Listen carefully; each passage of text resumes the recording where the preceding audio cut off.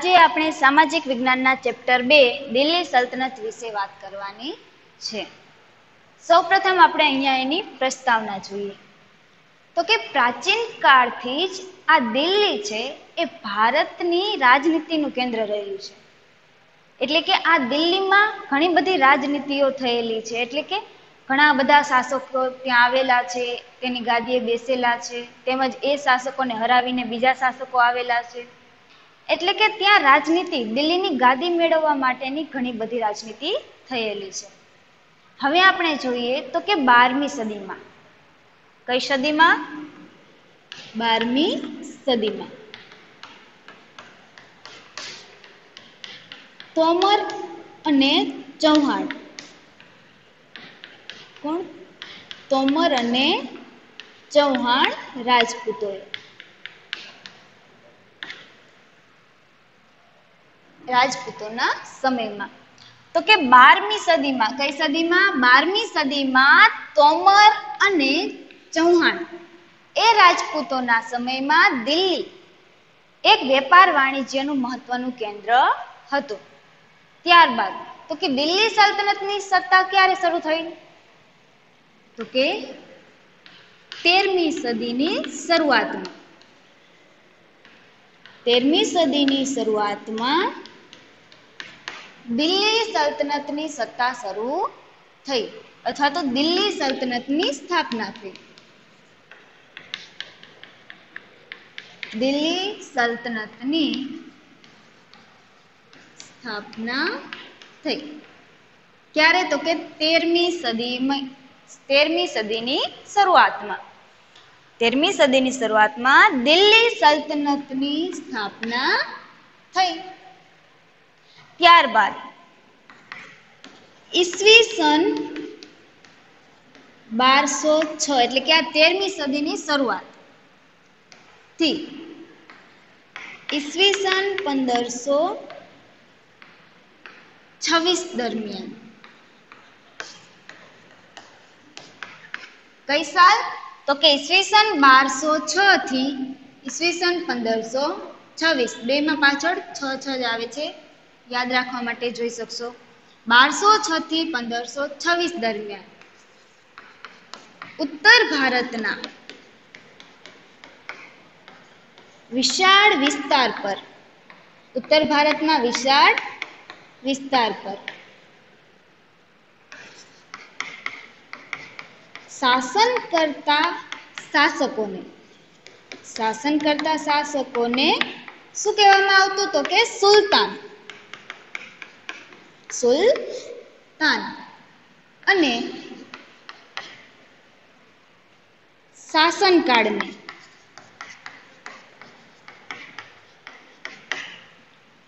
તો તે શાસનકાળને શું કહેવામાં આવતું? તો કે દિલ્હી સલ્તનત.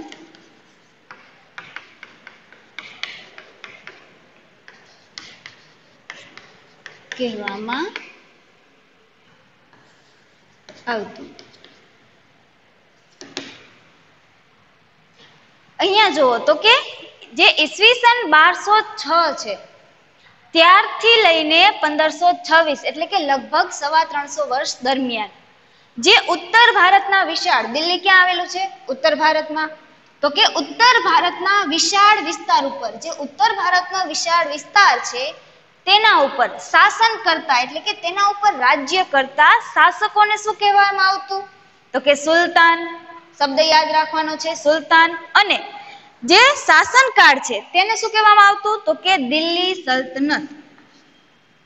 શું કહેવામાં આવતું? દિલ્હી સલ્તનત કહેવામાં આવતું. અહીંયા બે પ્રશ્ન આવી શકે. કે જે બારસો છ થી પંદરસો છવ્વીસ દરમિયાન ઉત્તર ભારતના વિશાળ વિસ્તાર પર શાસન કરતા શાસકોને શું કહેવામાં આવતું? તો કે સુલતાન અને તે શાસન કાળને, જો અહીંયા શાસકોને કીધું છે, તો સુલતાન અને તે શાસન કાળને શું કહેવામાં આવતું? તો કે દિલ્હી સલ્તનત કહેવામાં આવતું. હવે આ સવા ત્રણસો વર્ષના સમયગાળા દરમિયાન, એટલે કે બારસો છ થી પંદરસો છવ્વીસ, એ લગભગ સવા ત્રણસો વર્ષનો ગાળો છે. તો કે આ સવા ત્રણસો વર્ષના સમયગાળા દરમિયાન, ત્યાં પાંચ વંશોએ શાસન કરેલું. અને આ શાસનો હતા એ. તુર્ક અને અફઘાનના મૂળના હતા. તુર્ક અને અફઘાન મૂળના. એટલે કે જ્યાં દિલ્હી ઉપર શાસન કરવા શાસકો આવેલા, એ મૂળ એમનું વતન તુર્ક હતું અથવા તો અફઘાન હતું. તો કે આ શાસકો આવેલા એમને આ સવા ત્રણસો વર્ષ દરમિયાન પાંચ વંશોએ શાસન કરેલું દિલ્હી ઉપર. ક્યાં ક્યાં પાંચ વંશોએ? તો અહીંયા જોઈ શકો છો અહીંયા. તો કે સૌપ્રથમ ગુલાબ, ગુલામ વંશ આવ્યો, તેના પછી ખલજી વંશ ખલજી વંશ પછી તુગલક વંશ અને તુગલક વંશ પછી સૈયદ વંશ અને સૈયદ વંશ પછી લોધી વંશ.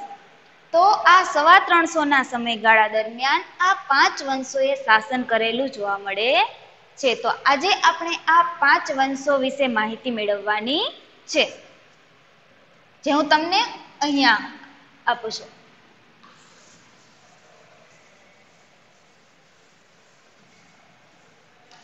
સૌ પ્રથમ આપણે વાત કરશું તો કે ગુલામ વંશની.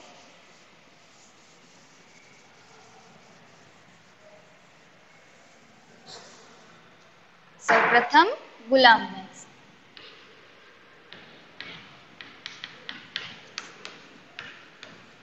જેનો શાસનકાળ ઈસવીસન બારસો છ થી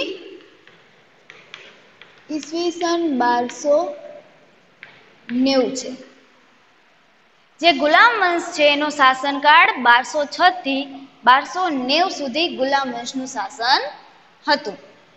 તો આપણે આના આગળના પાઠમાં, રાજપૂત યુગમાં પણ જોઈ ગયા હતા. કે ઈસવીસન અગિયારસો બાણુંમાં. ક્યારે? ઈસવીસન અગિયારસો ને બાણુંમાં. સાબુદ્દીન ઘોરી અને પૃથ્વીરાજ ચૌહાણ વચ્ચે યુદ્ધ થયા હતા. કોણ?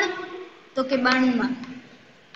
જેને સિહાબુદ્દીન ઘોરી પણ કહે છે. સિહાબુદ્દીન ઘોરી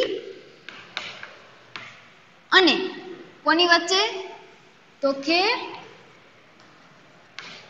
પૃથ્વીરાજ ચૌહાણ. અથવા તો આને પૃથ્વીરાજ ત્રીજો પણ કહે છે. આ પૃથ્વીરાજ ચૌહાણને પૃથ્વીરાજ ત્રીજો. તો કે અગિયારસો બાણુંની સાલમાં સિહાબુદ્દીન ઘોરી અને પૃથ્વીરાજ ચૌહાણ વચ્ચે જે યુદ્ધ થયું, તો યુદ્ધ ક્યાં થયું હતું? સેના મેદાનમાં? તો કે તરાઈના મેદાનમાં. સેના મેદાનમાં તરાઈ, તરાઈના મેદાનમાં. જે યુદ્ધ થયું બંને વચ્ચે, તેમાં સિહાબુદ્દીન ઘોરી છે એને પૃથ્વીરાજ ચૌહાણ ઉપર વિજય મેળવ્યો. એટલે કે એ યુદ્ધમાં કોનો વિજય થયો? તો કે સિહાબુદ્દીન ઘોરીનો અને ત્યારથી દિલ્હીમાં સલ્તનતના સત્તાના પાયા નંખાયા. એટલે કે આ યુદ્ધ, જે તરાઈનું યુદ્ધ છે, તેનાથી ભારતમાં દિલ્હી સલ્તનતની સત્તાની શરૂઆતના પાયા નખાયા. હવે આપણે જોઈએ તો કે આ સિહાબુદ્દીન ઘોરી છે એને મોહમ્મદ ઘોરી પણ કહે છે. તો કે એ મોહમ્મદ ઘોરી જેને મુહમ્મદ પણ કહે છે. મુહમ્મદ ઘોરી નો ગુલામ. મુહમ્મદ ઘોરીનો ગુલામ કોણ હતો? તો કે કુતુબ કુતુબુદ્દીન ઐબક. કુતુબુદ્દીન ઐબક. આ કુતુબુદ્દીન ઐબક છે, એ મોહમ્મદ ઘોરીનો ગુલામ હતો. કોનો ગુલામ? મોહમ્મદ ઘોરીનો ગુલામ. કુતુબુદ્દીન ઐબક જે મામલુક વંશનો હતો. મામલુક. આ શબ્દ યાદ રાખવા માટે પહેલા તો એને બે ત્રણ વાર બોલવો પડશે કે મામલુક વંશનો હતો. અઘરો છે થોડો પણ બે ત્રણ વાર ટ્રાય કરવાથી આવડી જશે. તો કે જે મુહમ્મદ ઘોરીનો જે ગુલામ કુતબુદ્દીન ઐબક છે, એ મામલુક વંશનો હતો. આ કુતબુદ્દીન ઐબકે તેના શાસનના પાંચ વર્ષ સુધી, એટલે કે તેના શાસન ફક્ત પાંચ વર્ષ સુધી આ ગુલામ વંશમાં હતું. પણ તેના એ પાંચ વર્ષના શાસનકાળ દરમિયાન તેને દિલ્હી સલ્તનતને, એટલે કે દિલ્હીનું જે સલ્તનત હતું, એને મજબૂત બનાવવા માટે ઘણા પ્રયાસો કર્યા. બારસો દસમાં બારસો અને દસમાં. કુતુબુદ્દીનનું અવસાન થયું.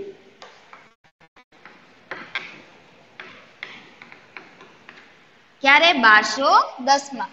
ઈસવીસન બારસો દસમાં, જે કુતુબુદ્દીન છે, એ પોલોની રમતમાં કઈ રમત?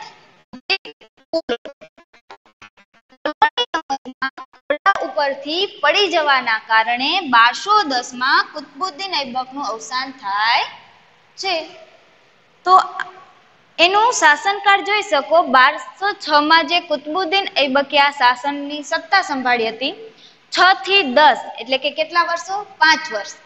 બારસો છ થી બારસો દસ. ત્યાં સુધી કુતબુદ્દીન ઐબકે શાસન દિલ્હી સલ્તનત ઉપર કર્યું. છેવટે એનું પોલો રમતા ઘોડા ઉપર પડી જવાથી મૃત્યુ થાય છે. તો પછી એના પછી કોણ આવે છે? તો કે કુતબુદ્દીન બાદ ઇલતુતમિસ જે કુતુબુદ્દીનનો જમાય પણ છે અને એનો ગુલામ પણ છે. કુતુબુદ્દીનનો જમાઈ. કોનો? કુતુબુદ્દીનનો જમાઈ ઇલતુત્મિશ અને કુતુબુદ્દીનનો ગુલામ પણ કહેવાય છે. તો કે એનો ગુલામ અને જમાઈ ઇલતુત્મિશ દિલ્હી સલ્તનતની ગાદીએ આવ્યો. હવે જે ઇલતુત્મિશ છે, એને દિલ્હી સલ્તનત એટલે કે દિલ્હીને સલ્તનતને સર્વોપરી બનાવવા.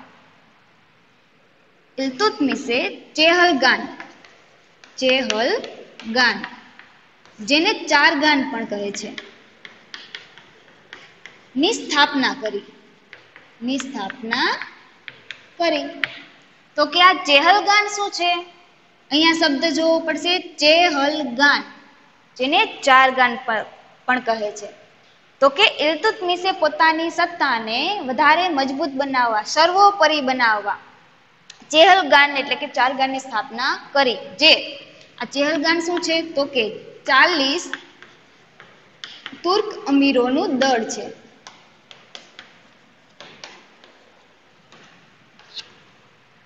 આ ચેહલગાન શું છે? તો કે ચાલીસ તુર્ક અમીરોનું દળ. જે અમીરો હતા તુર્કના, એ ચાલીસ, એનું એક દળ બનાવ્યું, એક સમૂહ બનાવ્યો. આપણે કેમ કોઈ પણ સભા હોય કે રાજ્યપાલ કે મુખ્યમંત્રી હોય, તો એની નીચે કામ કરવાવાળા કેટલા પણ હોય, નાણાકીય મંત્રી, શિક્ષણ મંત્રી, ઘણા બધા મંત્રીઓ હોય છે. એની એક સભા હોય, એમાં બધાને એક સમૂહ બનાવે છે. કે આ વિભાગ આ કામ કરશે, આ વિભાગ આ કામ કરશે. પોતાની સત્તા હોય કે જે એ લોકોનો કોઈ નિર્ણય હોય, એના પ્રમાણે કામ કરતા હોય છે. એવી જ રીતે આ ચેહલગાનના જે આ ચાલીસ તુર્ક અમીરો હતા, તેનો પણ જ્યાં દિલ્હી સલ્તનતની સભા હોય કે સત્તા હોય, એમાં એ પણ એમનો નિર્ણય કરી શકતા અથવા તો તેમની પણ થોડી ઘણી સત્તા હતી. તો આ ચાલીસ તુર્ક અમીરોનું દળની એને સ્થાપના કરી. હવે જે આ ઇલતુત્મિશ છે. એને રાજધાનીનું સ્થળાંતર કર્યું. તો કે લાહોરથી લાહોરથી દિલ્હી. લાહોરથી ક્યાં? દિલ્હી. આ ઇલતુત્મિશે પોતાની જે રાજધાની હતી એનું સ્થળાંતર કર્યું. એટલે કે રાજધાની લાહોરથી દિલ્હી ખસેડી. તેમજ ગુલામ વંશનો સાચો સ્થાપક કોને કોને માનવામાં આવે છે? તો કે ઇલતુત્મિશને ગુલામ વંશનો સાચો સ્થાપક. કોને માનવામાં આવે છે? ઇલતુતમિસને ગુલામ વંશનો સાચો સ્થાપક. શરૂઆતમાં ગુલામ વંશનું કોણ હતું? તો કે કુતબુદ્દીન ઐબક જેને પાંચ વર્ષ સુધી શાસન કર્યું દિલ્હી સલ્તનત ઉપર. ત્યારબાદ આવ્યો ઇલતુત્મિશ તો ઇલતુત્મિશ છે, એને ગુલામ વંશનો સાચો સ્થાપક માનવામાં આવે છે. સ્થાપના ભરે કુતબુદ્દીન એબકથી થઈ. પરંતુ સાચો સ્થાપક પૂછે કે સાચો સ્થાપક ગુલામ વંશનો કોણ?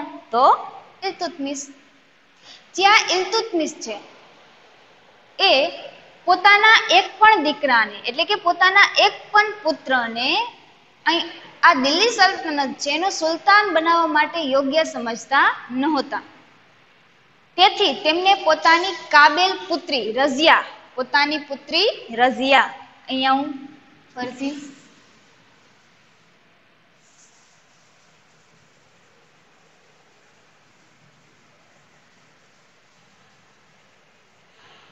તો કે ઇલ્તુત્મિશ છે એ પોતાના એક પણ પુત્રને સુલતાન બનવાના યોગ્ય માનતો ન હતો. એટલે કે તેના પુત્ર કાબેલ કે સક્ષમ ન હતા. તેથી તેને પોતાની પુત્રી ઇલ્તુત્મિશે પોતાની પુત્રી. એનું પુત્રીનું નામ શું હતું તો કે રઝિયા. રઝિયા સુલતાના પણ એને કહે છે. રઝિયા. જે સુલતાના. જે રઝિયા સુલતાના નામે ઓળખાય છે. તો કે ઇલતુતમિસે પોતાની પુત્રી રઝિયાને પોતાની ઉત્તરાધિકારી તરીકે જાહેર કરી. એટલે કે એના પછી પોતાની દીકરીને એ શાસન સોંપવામાં આવે એની જાહેરાત કરી. ઇલતુતમિસના અવસાન પછી થોડા સમય બાદ રઝિયા છે એ દિલ્હીની ગાદીએ આવી. તો કે દિલ્હીની ગાદીએ આવનાર પ્રથમ મહિલા શાસક કોણ? એ પ્રશ્ન આવે તો રઝિયા. દિલ્હીની ગાદીએ આવનાર પ્રથમ, જોજો, પ્રથમ મહિલા શાસક. તો કે રઝિયા રઝિયા સુલતાના. રઝિયા આવશે. આ પ્રશ્ન મોસ્ટ આઈએમપી છે. આ પ્રશ્ન એક્ઝામમાં પણ આવી શકે કે દિલ્હીની ગાદીએ આવનાર પ્રથમ મહિલા શાસક કોણ હતી?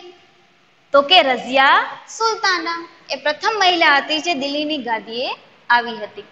એ ઉપરાંત તે સમયના ઇતિહાસકાર કોણ? ઇતિહાસકાર જેમનું નામ છે મિનહાજ એ સિરાજ. થોડુંક વિચિત્ર નામ છે, એટલે કે અલગ નામ છે. બે ત્રણ વાર બોલશો એટલે યાદ રહી જશે. તો કે મિનહાજ એ સિરાજ, જે એ સમયનો ઇતિહાસકાર હતો, તેણે પણ કહ્યું હતું કે જે રઝિયા સુલતાના છે, એ પોતાના બધા ભાઈઓમાં વધારે કાબેલ અને વધારે સક્ષમ હતી. શાસન તંત્રમાં એક શાસક તરીકે માનવામાં આવતી ન હતી. એટલે કે મહિલા છે એક સ્ત્રી હતી, એના કારણે એને એક શાસનકર્તા તરીકે માન્યતા આપવામાં આવતી ન હતી. તેમજ જે રાજદરબારીઓ હતા, તે પણ રઝિયાના શાસનને સ્વતંત્ર રાજ્ય તરીકે માનવા તૈયાર થતા ન હતા. જે અમીરો હતા, જે આગળ પણ વાત કરી કે જે ચેહલગાનમાં ચાલીસ તુર્ક અમીરો હતા. એમને પણ એ અમીરો પણ પોતાની સત્તા લાલસા અને અંદરોઅંદર ચાલતા વિદ્રોહને કારણે રઝિયાના શાસનનો અંત આવ્યો છેલ્લે. અને રઝિયાના શાસનનો અંત આવ્યો પછી જે અમીરો હતા, જે તુર્ક અમીરો કહેતા, એમણે ઇલ્તુતમિશના પુત્ર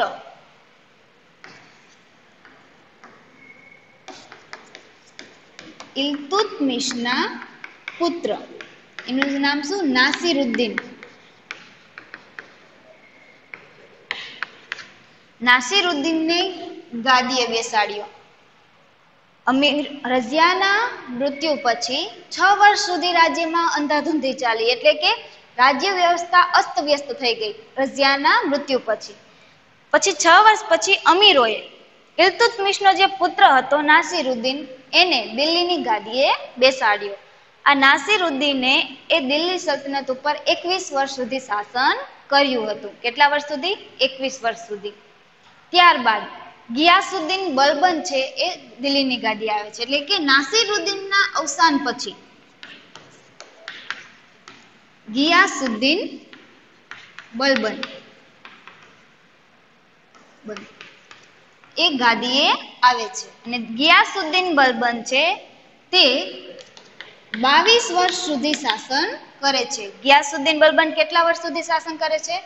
બાવીસ વર્ષ સુધી. તેમજ આ ગિયાસુદ્દીન બલબન જે ઇલ્તુત્મિશે ચેહલગાન આગળ પણ કીધું ચેહલગાન જેને ચાર ગાન ચાર ગાન પણ કહે છે.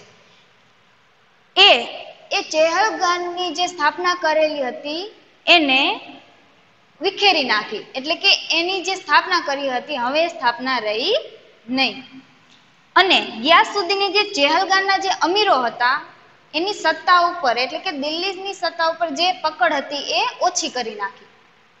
અને જે રાજાનું સ્થાન હોય, તેને વધારે મજબૂત બનાવ્યું તેથી અમીરોની સત્તા ઓછી થઈ ગઈ હવે, એ સત્તા જે પહેલા હતી તે. અને પછી એને શું કર્યું? તો કે રાજાનું સ્થાન મજબૂત બનાવ્યું. અને બાવીસ વર્ષ પછી ગિયાસુદ્દીન બલબંધ પછી એ વંશમાં ખલજી વંશની સ્થાપના થઈ, એટલે કે ગુલામ વંશનો અંત થયો અને ખલજી વંશની સ્થાપના થઈ. તો કે ખલજી વંશની હવે આપણે માહિતી મેળવીએ. આ માહિતી તમને ગુલામ વંશની મેં આપ તમને આપી કે સૌપ્રથમ શાસક કુતબુદ્દીન ઐબક હતો. કુતુબુદ્દીન એબકે પાંચ વર્ષ સુધી શાસન કર્યું. ઘોડા પરથી પડી જવાના કારણે એમનું મૃત્યુ થયું. પછી ઇલતુતમિસ ગાદીએ આવ્યો. ઇલતુતમિસે એક ચેહલગાન નામની સ્થાપના કરી, જેમાં ચાલીસ અમીરોનું દળ હતું. તેના મૃત્યુ પછી તેણે પોતાની પુત્રી રઝિયાને સુલતાના બનાવવા માટેની જાહેરાત કરી. રઝિયા દિલ્હીની ગાદી આવનાર પ્રથમ મહિલા શાસક તો કે રઝિયા સુલતાના રઝિયા એક મહિલા હતી, તેથી તેને શાસક તરીકે માન્યતા આપવામાં આવતી ન હતી. તેના મૃત્યુ પછી છ વર્ષ પછી અમીર, અમીરો હતા તેમણે. ઇલ્તુતમિશના પુત્ર નાસિરુદ્દીનને ગાદીએ બેસાડ્યો. નાસિરુદ્દીને એકવીસ વર્ષ સુધી શાસન કર્યું. નાસિરુદ્દીને કેટલા વર્ષ સુધી શાસન કર્યું તો કે એકવીસ વર્ષ સુધી. ત્યાર પછી ગિયાસુદ્દીન બલબન આવ્યો. આ બલબન હતો તે સાહિત્ય અને કલાનો પણ પોષક હતો. તેને બાવીસ વર્ષ સુધી શાસન કર્યું. એને ચેહલગાન જે ચેહલગાન જે સ્થાપના કરી હતી એની વિખેરી નાખી. એટલે કે અમીરોની જે પકડ હતી સત્તા ઉપર એ ઓછી કરી નાખી.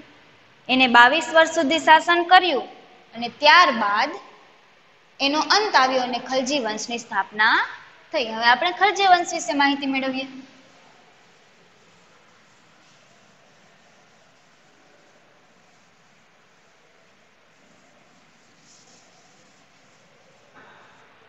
ઓકે? કે ખલજીવંશ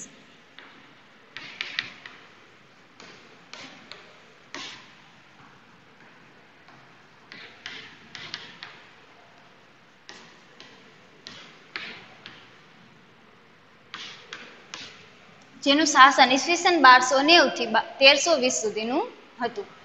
આ ખલજી વંશનો સ્થાપક, તો કે સ્થાપક કોણ હતો? તો કે ખલજી વંશનો સ્થાપક હતો જલાલુદ્દીન. જલાલુદ્દીન. ખલજી વંશની સ્થાપના કોને કરી? તો કે જલાલુદ્દીને. જલાલુદ્દીને છ વર્ષ સુધી ખલજી વંશમાં શાસન કર્યું. અને છ વર્ષ બાદ અલાઉદ્દીન ખલજી આવ્યું. જલાલુદ્દીન પછી કોણ આવ્યું? તો કે અલાઉદ્દીન. અલાઉદ્દીન ખલજી જલાલુદ્દીન પછી આવ્યો. જેણે અલાઉદ્દીન ખલજીએ એક સામ્રાજ્યનું નિર્માણ કર્યું. એટલે કે અલાઉદ્દીન ખલજી હતો તેણે. ઉત્તર ભારત, ગુજરાત અને દક્ષિણ ભારત ઉપર વિજયો મેળવીને એક મોટું સામ્રાજ્ય બનાવ્યું. શું બનાવ્યું? મોટું સામ્રાજ્ય. એટલે કે એને ઘણા બધા વિસ્તારમાં વિજય મેળવી અને એક સામ્રાજ્યનું નિર્માણ કર્યું. જ્યાં અલાઉદ્દીન હતો, તેણે દિલ્હીમાં, કોણે? અલાઉદ્દીને દિલ્હીમાં સ્થાયી સેનાની સ્થાયી સેનાની સ્થાપના કરી. કોણે? તો કે અલાઉદ્દીને. અલાઉદ્દીને દિલ્હીમાં સ્થાયી સેનાની કેવી? સ્થાયી સેનાની સ્થાપના કરી. સ્થાયી સેનાની સ્થાપના કરી એવી જ રીતે. સૈન્ય હોય. તો કે સૈન્યની જે સૈન્યની સેના અને સૈનિકો જે સૈન્યની સેના હોય એ ઉપરાંત જે સૈનિકો હોય, એમની ઓળખ માટે ઓળખ માટે એક મિનિટ.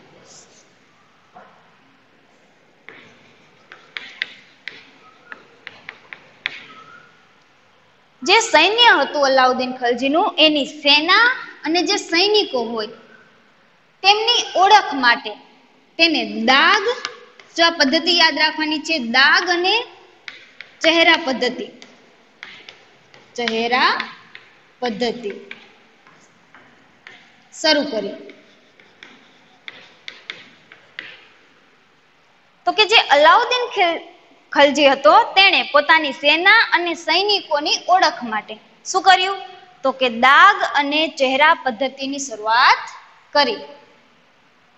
ત્યારબાદ જ્યાં અલાઉદ્દીન ખલજી છે, એક એવો રાજા હતો જેને પોતાના વિસ્તારમાં, પોતાની સત્તા દરમિયાન ન્યાય એટલે કે ન્યાયની વ્યવસ્થા વહીવટી તંત્રમાં સુધારા કર્યા. કેવા? તો કે ભાવ નિયમન ભાવ નિયમન પછી બજાર નિયંત્રણ અને સંગ્રહખોરી નિયમન. સંગ્રહખોરી નિયમન. આવા વહીવટી સુધારા કર્યા. કોણે? અલાઉદ્દીન ખલજીએ.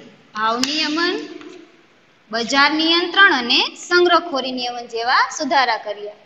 અલાઉદ્દીન ખલજીના શાસનકાળના અંત બાદ તુગલક વંશની શરૂઆત થઈ. કયા વંશની? તો કે તુગલક વંશની. તો કે તુગલક વંશનો રાજા અહીંયા તુગલક વંશ. જો અહીંયા જોઈ શકો છો તુગલક વંશ તેરસો વીસથી ચૌદસો ચૌદ સુધી તેનું શાસન. એમાં મુહમ્મદ બિન તુગલક. તુગલક. નામનો એક પ્રતિભાવંત શાસક થઈ ગયો. તુગલક વંશમાં કયો રાજા? તો કે મુહમ્મદ બિન તુગલક નામનો એક શાસક થઈ ગયો. આ શાસકે ઘણી બધી યોજના બનાવી હતી. જેમ કે દિલ્હીનું દોલતાબાદ સ્થળાંતર કર્યું હતું. એક પ્રતિક મુદ્રા પ્રયોગની યોજના બનાવી હતી. પરંતુ આ બધી યોજનાઓમાં વ્યવહારિકતાનો અભાવ હતો. આયોજન કરેલું ન હતું. એટલે કે આયોજનબદ્ધ અમલીકરણના અભાવને કારણે જે તેને યોજનાઓ બનાવી હતી એ તરંગી યોજનાઓ બની ગઈ. કેવી? તરંગી યોજનાઓ તરીકે ઓળખવામાં આવે છે. કેવી યોજનાઓને? તો કે એની જે યોજનાઓ બનાવેલી હતી, એમાં આયોજનનો અભાવ હતો, વ્યવહારિકતાનો અભાવ હતો, તેના કારણે બધી યોજનાઓ નિષ્ફળ ગઈ. અને નિષ્ફળ ગઈ એના કારણે તેની યોજનાઓને તરંગી યોજનાઓ કહેવામાં આવે છે. હવે, એ મોહમ્મદ બિન તુગલક એના સમયમાં, તો કે આફ્રિકન આફ્રિકન મુસાફર આવ્યો હતો. એનું નામ શું હતું? તો કે ઇબ્ન બતુતા.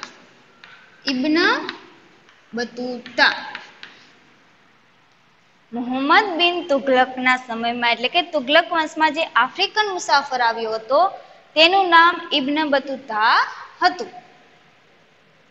આજે મોહમ્મદ મોહમ્મદ તુગલક છે. એના પછી કોનું શાસન સ્થપાયું? તો કે મોહમ્મદ તુગલક બાદ ફિરોજ શાહ. ફિરોજ શાહ તુગલકનું શાસન સ્થપાયું, જે મોહમ્મદ બિન તુગલકનો પિતરાઈ ભાઈ હતો. એટલે કે મોહમ્મદ બિન તુગલક પછી ફિરોજ શાહ તુગલકનું શાસન સ્થપાયું, જે મોહમ્મદ બિન તુગલકનો પિતરાઈ ભાઈ હતો. મોહમ્મદ બિન તુગલક એટલે કે આ જે ફિરોજ શાહ તુગલક હતો, એના સમયમાં, તૈમુર લંગે આના સમયમાં તૈમુર લંગે.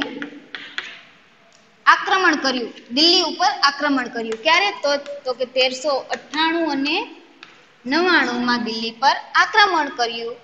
અને તેના કારણે તુગલક વંશનો નાશ થયો અને સૈયદ વંશ સત્તા ઉપર આવ્યો. હવે આપણે સૈયદ વંશ વિશે માહિતી મેળવીએ.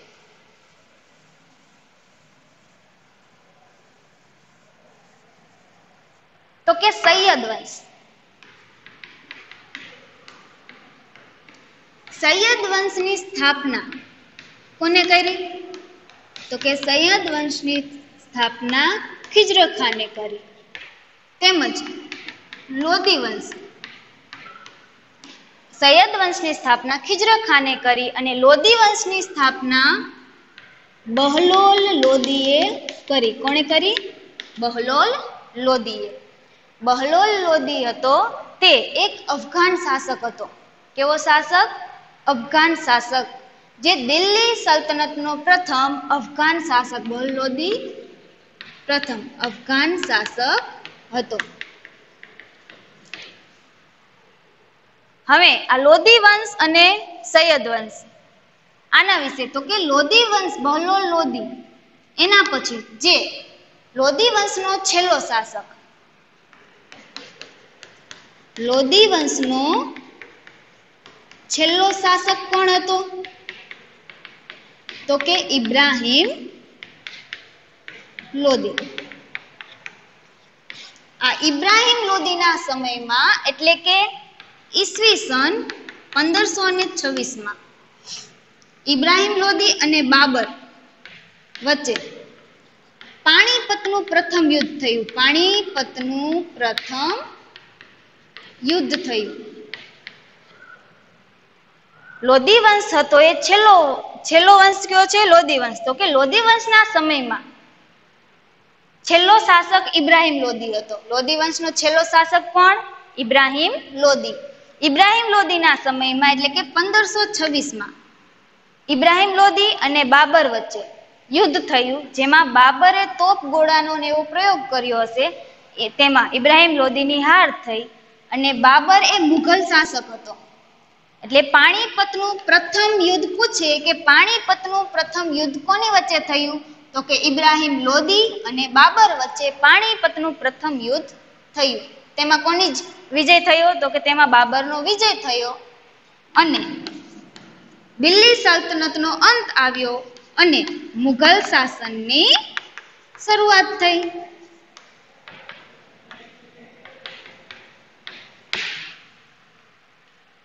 અહીંયા આપણે આ પાંચે વંશની માહિતી મેળવી. આશા રાખું છું કે તમને સમજાણું હશે.